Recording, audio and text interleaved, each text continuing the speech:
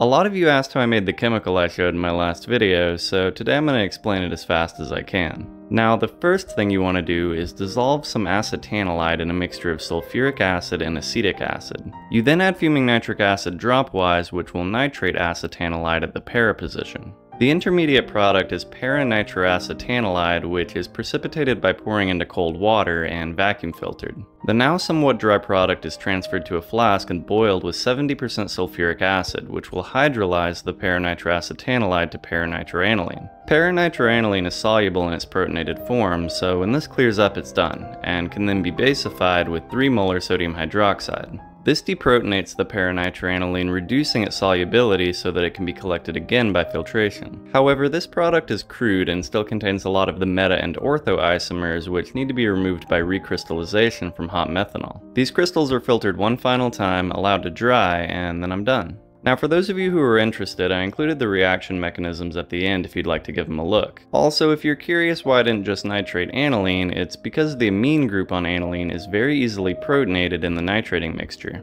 This protonated amine acts as a meta-director forming metanitroaniline, which we don't want. The acetyl group of acetanilide, however, acts as a para-director which massively increases the yield. Anyway, as always, I hope you found this video interesting, and if you want to see more science, consider giving me a follow.